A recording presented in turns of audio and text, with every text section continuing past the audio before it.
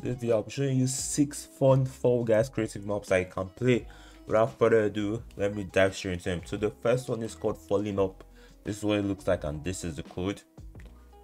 Then the second one is called Hex-A-Gone Unlimited. This is what it looks like and this is the code. The next one is Blunderdome Blast. This is pretty much what it looks like as you can see on the screen and this is the code.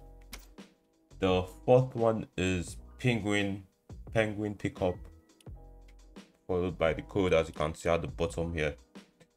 After that you have Bean Circuit here is the code. I'm moving on to the last one which is Tumble Towers and here's the code.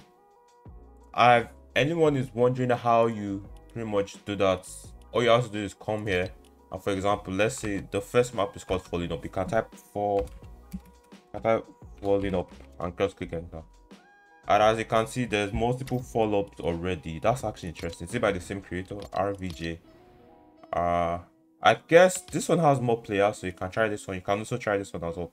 And you can also like copy and paste the code. So if you go to the description right now i have the code as well as the map name. So as you can see this is the original one. I also advise you guys to type the code in each of them where you actually get the original maps.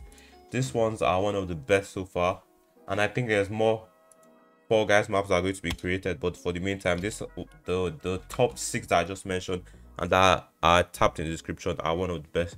So i advise you guys to go check it out. And yeah if you have enjoyed the video please like subscribe comment and please use my supporter creator code ckc to support me to do future skin giveaways in the future. And i'll see you guys soon. Thank you for watching and peace